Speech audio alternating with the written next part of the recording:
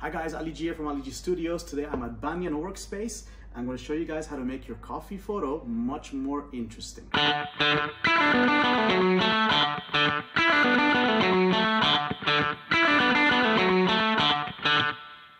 So first thing is I've got my coffee. Pretty good. I'm to set that over here. Now what I've done is I've chosen part of the sofa here that has a nice color. So that golden color really, really plays in with the brown of the coffee. And I've also got some coffee beans that you can see here. Okay, by the way, Banyan Workspace has amazing coffee. I've already had two today, that's why I'm a bit flying, right? So now what I'm gonna do is I'm gonna take that coffee and I'm gonna put the grains here for a little bit of styling, okay? Right here. Now you could actually do the same thing with tea.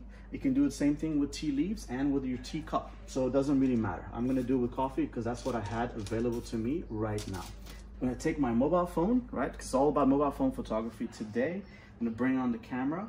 Now what I'm gonna do is I'm actually going to choose the portrait mode on my phone, right? This is the new Huawei that I'm uh, playing with today. I'm going to turn the phone upside down and I'm gonna bring it much, much, much lower angle. So I want you to see what it looks like here.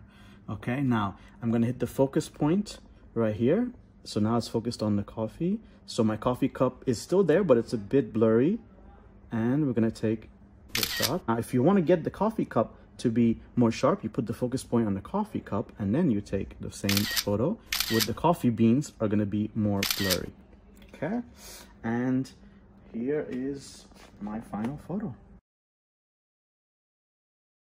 Thanks again for watching. Hope you guys enjoyed it. Please make sure you follow us. Also subscribe to my YouTube channel, Ali G Studios, for more tips and tricks with mobile phone photography.